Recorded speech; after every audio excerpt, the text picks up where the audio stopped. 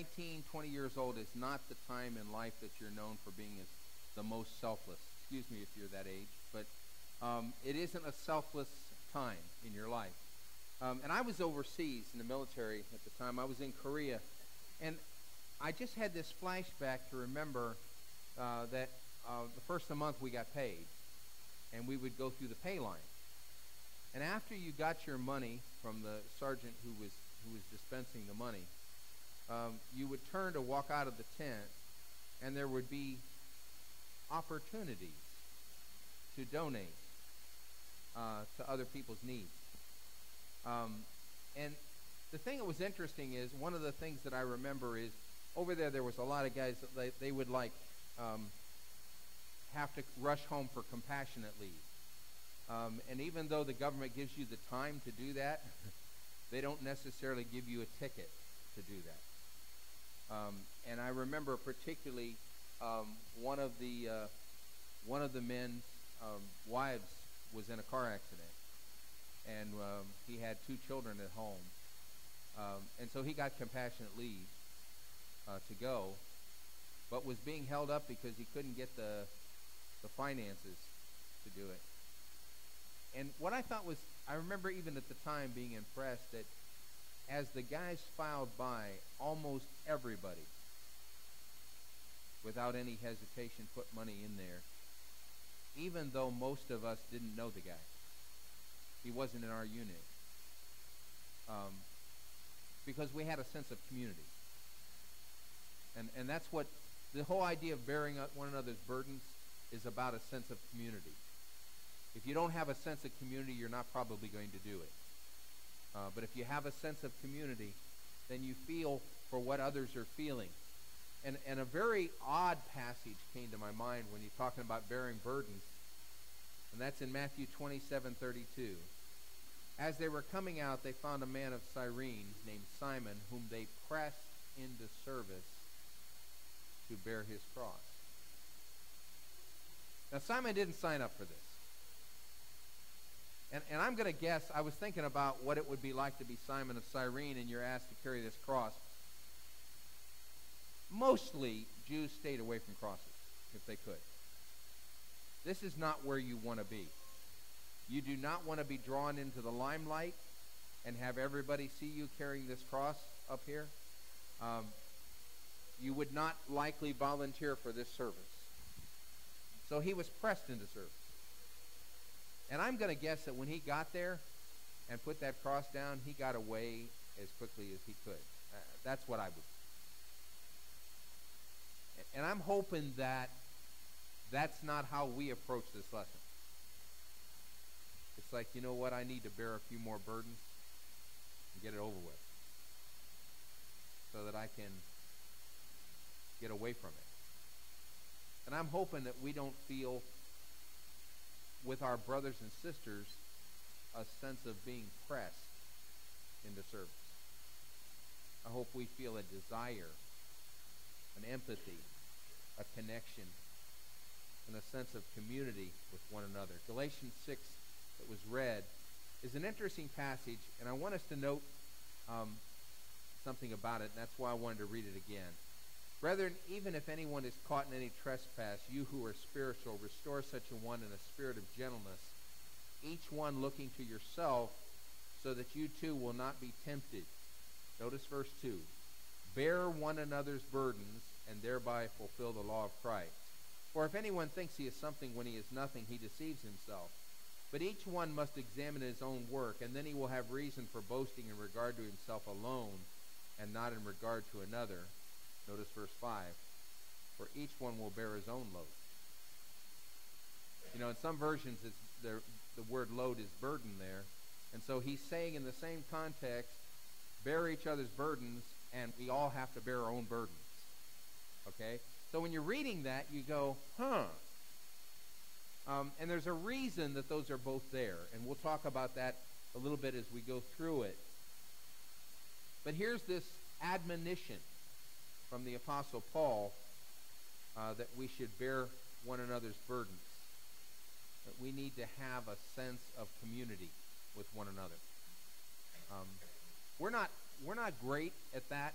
uh, in my opinion, in America, until tragedy comes. We're great at responding to tragedy.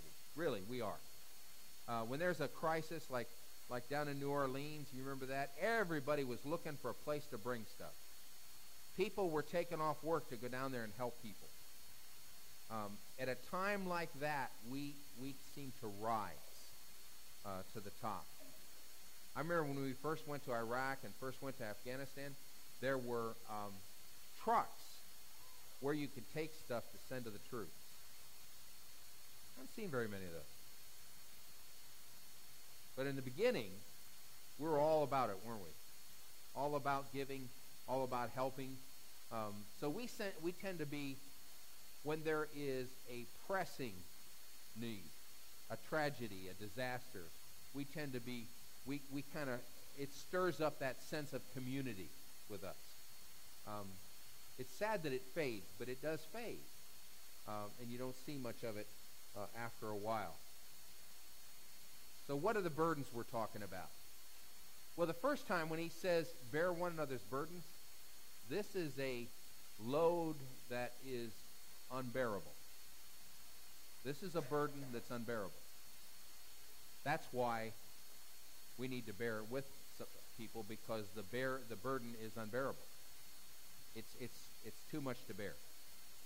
So, um, and all of us have faced those. Um, I got to tell you that I've had some struggles in my life, some some burdens, even since I've been a child of God, even since I've been here, that I would have had difficulty carrying without some help, without somebody there alongside of me, kind of boosting me on and encouraging me. Um, so there's all different kinds of burdens. I want to talk about a couple here. Um, one is a spiritual burden, and that's what he's talking about in the initial context in chapter 6. But it's not all that he's talking about, and we'll see why that is in a minute. But in Galatians 6.1, he says, if anyone is caught in any trespass. Now, what is that? How do you get caught in a sin? Um, he's not talking, you know, here's the thing about Scripture. Don and I have talked a lot about this. In Scripture, Christians don't go around sinning. I know that might offend somebody, um, but that's the reality. The reality is the New Testament assumes that you won't go out and deliberately sin because you're a Christian. And because Christians don't want to do that. So that's why you're caught in a trespass. This is like it, it, it overwhelms you. You've been overwhelmed in a trespass. That situation arises where you get caught in something. You didn't expect it, you weren't planning it. You're still guilty because you give it, gave into it. But you, you're overwhelmed. I, I think anger is an example. Some of you have.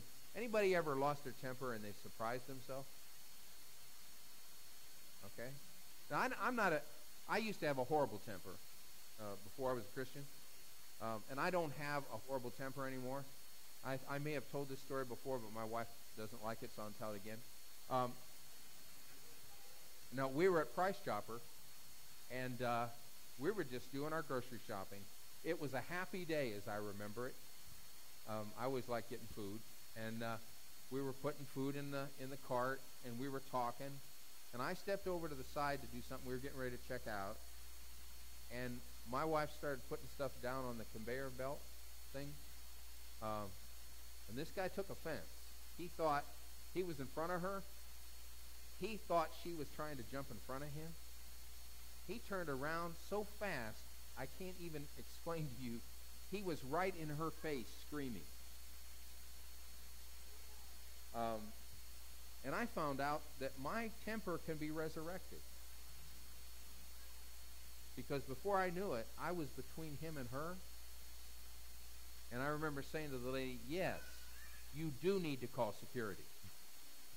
she said, Do I need to call security? I said, Yes, you do need to. And what I was thinking was, You need to because he needs protection. Because he's screaming at my wife, he's in her face. I felt like a, a big Papa Bear or something you know, and I know she's not my child, but I'm saying that it just it overwhelmed me. It came over me. All right. Um, I say that to say I'm not sorry I stood up for her. I am sorry for the way I expressed it because I was caught in a trespass. I should have dealt with that better than I did, but I didn't. And and I know my wife was surprised and disappointed. Not disappointed that I stood up for her, but disappointed because of the way I expressed it. Um, and and so that's when I think of caught in a trespass, I think of that. Well, I didn't see that coming, and I didn't set out to do that. Um, but did I have the ability to do better than that? Yes, I did. I went with the easy route. The easy route is just give in to what you're feeling. Um, and that's what I did. Uh, gratefully, I didn't give in completely to what I was thinking, feeling. Um, but all of us have been there. Everybody here has been caught in a trespass. Everyone here has struggled um, and has has given in to something uh, they didn't intend to. They didn't set out to do it, but they found themselves doing it. Another area where I think we fall into that is with pride. With pride, uh, we're pretty pretty proud people. Um, as a nation uh, and and as individuals. And you can you know your own weaknesses, your own struggles, and it's easy to get caught up in something. Gossip. Anybody in here ever get caught up in gossip? You don't have to raise your hand because I know you're all guilty. We've all gotten caught up in gossip, haven't we? Most of us don't set out to gossip. But somehow we find ourselves having gotten there. And we could go down through the list of things we're not talking about renting a motel and having an affair. You're not caught up in anything there. That's something you chose to do. We're talking about that thing that overtakes you, and that's what this context is about.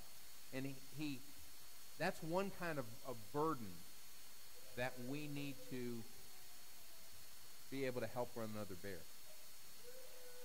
Um, in the context here, sometimes we don't do that because of a spirit of haughtiness. Because sometimes when you mess up, it makes me feel a little better. Isn't that sad?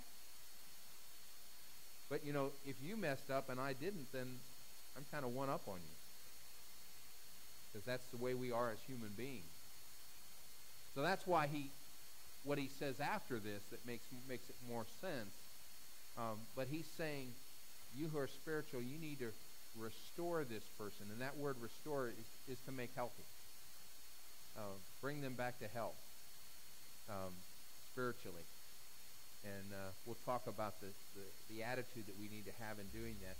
Uh, but, you know, that, that whole idea of, of being, of restoring someone, rather than relishing the mistake they made, Help them out of it. Help them get out. You know, I thought about this. Uh, um, I used to do this, and I may do it sometime in the future again. I used to do this rat trap that I had when I did youth rallies, and I'd talk about getting caught in sin. And I had this huge rat trap. And I used to thrust my hand into the rat trap at a certain point in the lesson. I always used to love to see the kids. They almost fall off the seat. I mean, it was great. Um, it also, just a little heads up, it hurts a lot. So you, you really want to be very careful. And the, and the other thing about it is it's hard to practice. So you get better at it. you don't want to practice a lot. Um, but I used to thrust my hand in. One of the things about it is it is possible with a with a. I, I found one trap that I had. I had different size ones that was actually big enough, and the the spring was strong enough that it was pretty hard to pull it off with your one hand while you had your other hand in it. And I would usually reach out like this, and somebody would just pull the spring back, and I'd pull my hand out. And I was thinking how sometimes when our brothers and sisters get caught,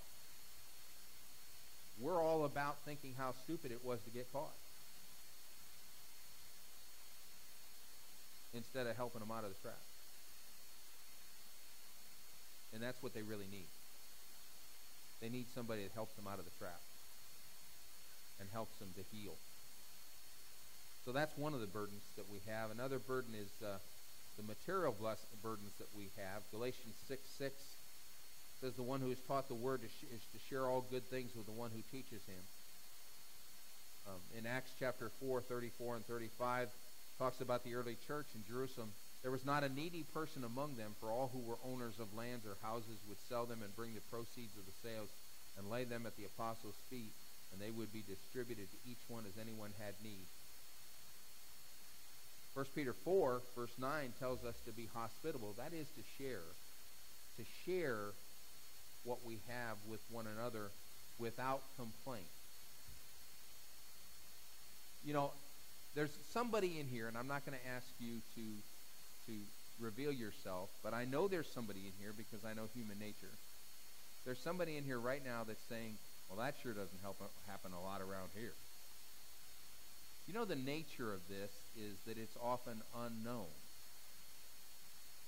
And sometimes the people in leadership know about hundreds of people who have helped other people in times like that, but it was done privately. If if uh, if Elroy's got a financial need and I help him privately, it doesn't embarrass him, and it doesn't draw attention to me. So sometimes people choose to do it privately. That isn't to say it isn't being done. That's just to be say that the need is being met uh, very very privately. And I can tell you that that has happened hundreds and hundreds of times in the time that I've been here multiple times a week usually i find i hear of something someone has done for someone um, and many times in a very private way. Sometimes groups of us have gotten together in a private way and helped somebody with their car with their rent with whatever the need was. Um, so there's a lot of that that goes on just like it did in, in the first century. When we read about this um, the very thing that there's a, there's a, a contrast between Barnabas and, and uh, Ananias and Sapphira. And Barnabas gives his money, lays at the apostles' feet, and it is distributed as necessary. Okay? Um, Ananias and Sapphira want to make a show of this. Okay? Um, and, and so I think there's a lot of the private uh, that's going on. Uh, and I see it and have experienced it uh, over and over and over uh, here in the body. Uh, but we need to be a people that share uh, with the material burdens that people bear. And sometimes they're more than they can, can hold. And emotional burdens. Now, we who are strong, Romans 15.1, ought to bear the weaknesses of those without strength and not just please ourselves.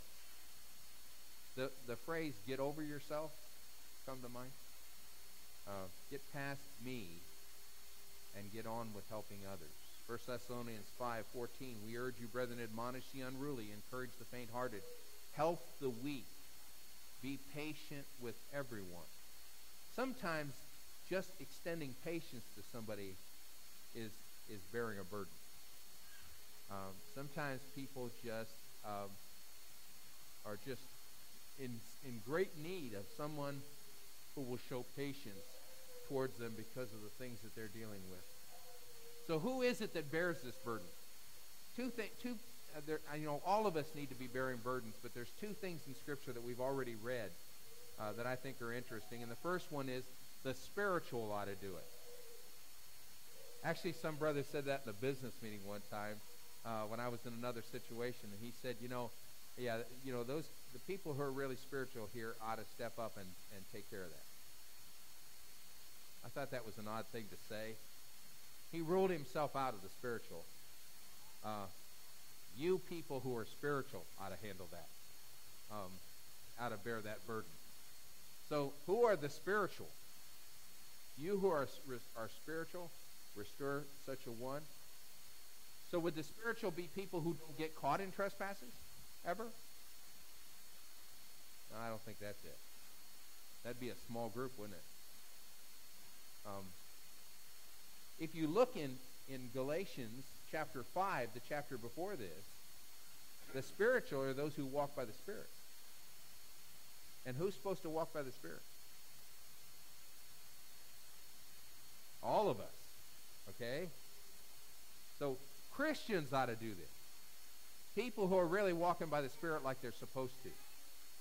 They ought to be bearing the burden of restoring people to Christ that have fallen because of their spiritual weakness. there's two kinds of people in, that Paul writes about in 1 Corinthians. He says, I, brethren, could not speak to you as spiritual men, but as to men of flesh, as to infants in Christ. I gave you milk to drink, not solid food, for you were not able to receive it. Indeed, even now you are not yet able, for you're still fleshly. For since there is jealousy and strife among you, are you not fleshly, and are you not walking like mere men? In a congregation that I was in, we, uh, in, a, in a very short time, we baptized maybe uh, 50, 60 people. And uh, they, all these men came into the business meeting. Uh, none of them with much training in the Bible whatsoever. Uh, it changed the whole nature of the business meeting. Uh, we would be making decisions, and guys would say things that just would knock you over.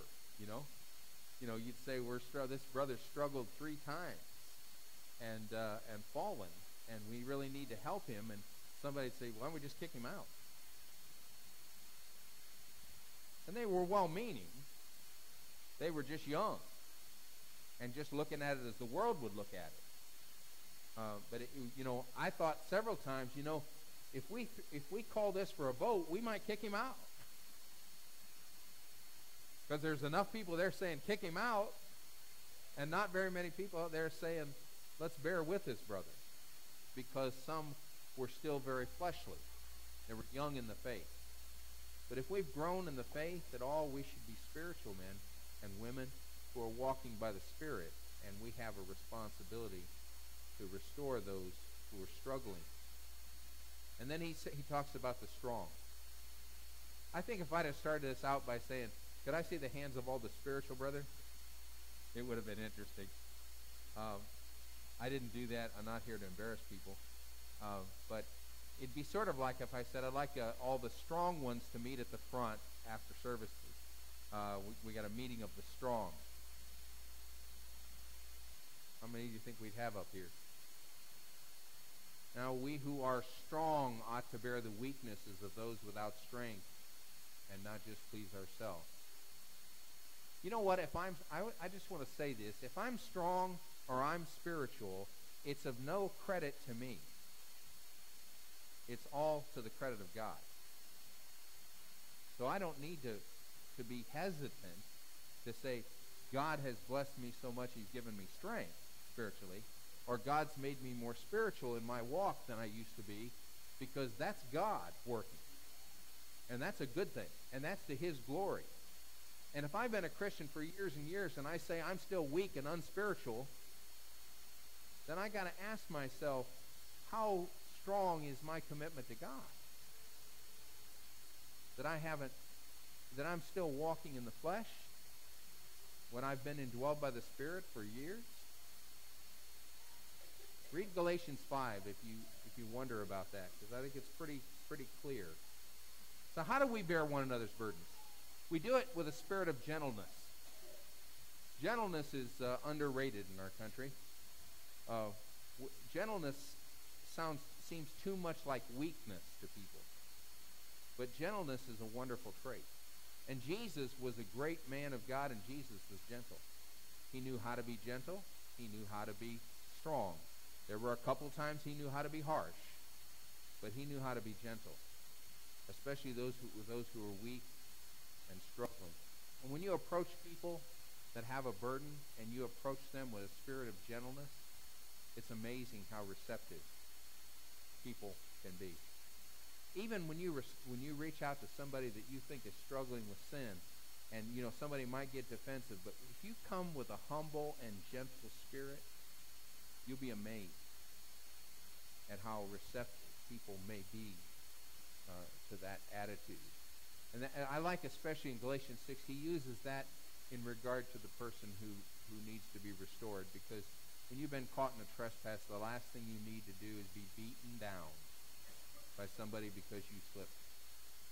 Um, and he's saying to the, that to that effect, we're not here to beat each other down. We're actually here to give people a hand to get up. With a listening ear. How many of you know a good listener? Don't you like to be around that person? It's nice to be around a good listener. How many know somebody that doesn't listen at all, no matter how much you say? You flock to be around that person, don't you? Especially when you have a problem. You always want to go to somebody that doesn't listen at all. Um, Colossians 4, 5, and 6. Conduct yourself with wisdom toward outsiders, making the most of the opportunity. Let your speech always be with grace, as though seasoned with salt, so that you will know how you should respond to each person. Now you have to listen to, you have to read that really carefully to understand. It isn't how I speak that enables me to know how to respond. It's how I listen that enables me to know how to respond. So he's saying, choose your words carefully so that you know how to respond. So if I choose my words carefully and I'm listening to Marilyn and she's talking to me and I'm hearing what she's saying and I'm choosing my words carefully, seasoned with salt and with grace, then I'm a good listener. I have a good listening ear. James says, This you know, my beloved brethren, everyone must be quick to hear, slow to speak, and slow to anger. I know a lot of times when, when the elders sit down with somebody, one of the first things we do is say, "What do you? Would you like to say something?" And we listen. Um, it's interesting how many times, and I know you've probably experienced this in your own life.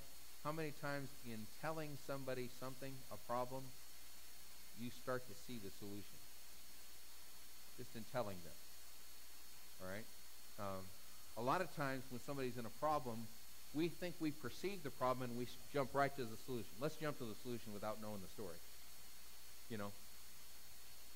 But if you're a good listener, if you approach people who have a burden that they're having trouble bearing with a listening ear, it's amazing how much good can be accomplished with prayer. James 5:16 says, "Confess your sins to one another and pray for one another so that you may be healed. The effective prayer of righteous man can accomplish much.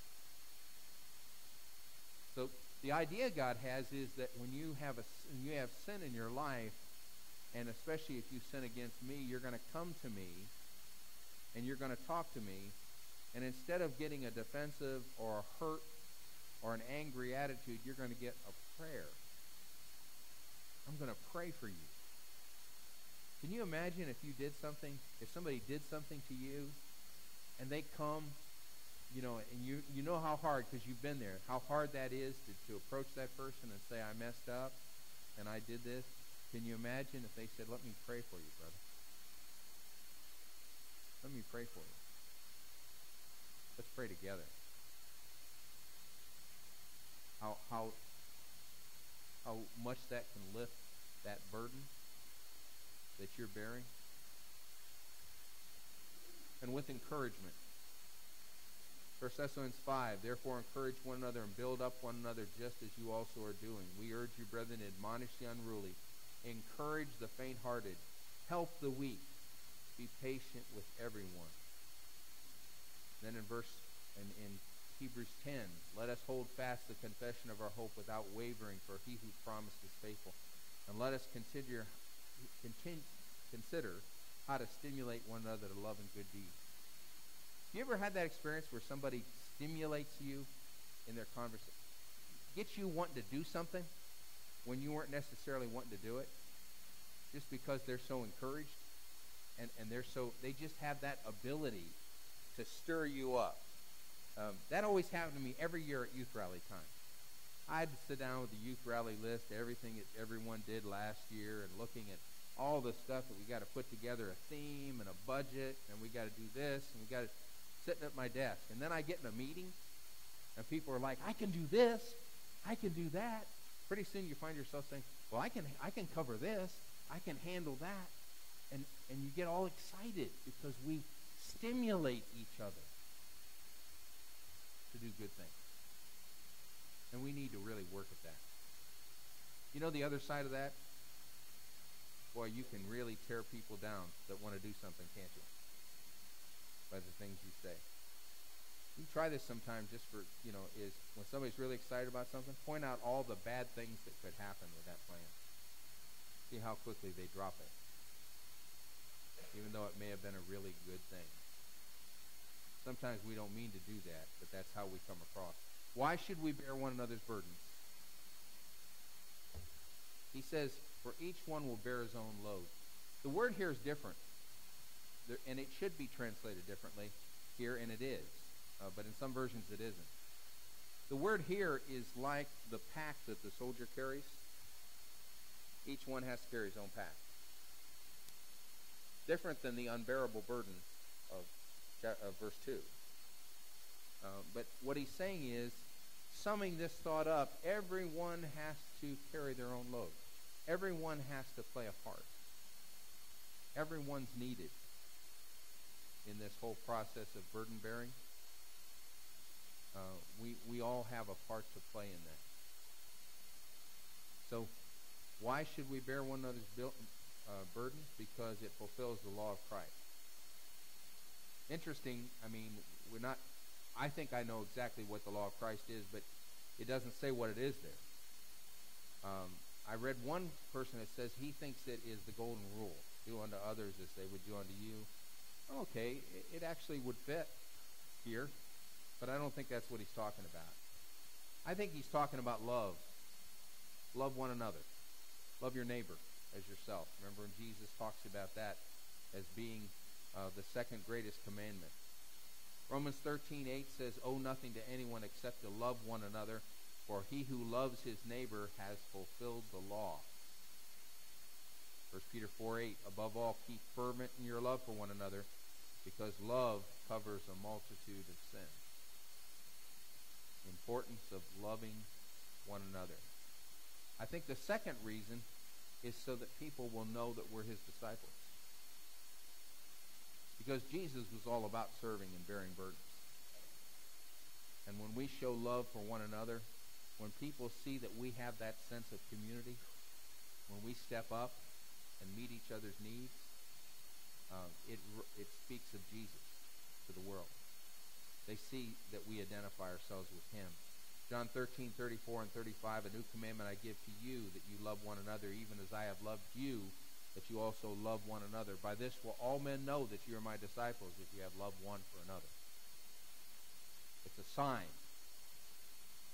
Bearing each other's burdens and showing that love for one another is a sign to people that we're associated with Christ. That we stand out. That we're different. First John says, whoever loves God must also love his brother. You know, in that context, he actually says that we can't love God unless we love our brother. We can't love God whom we haven't seen if we don't love our brother whom we have seen. If you can't even love each other, he says, what chance do you have to love me?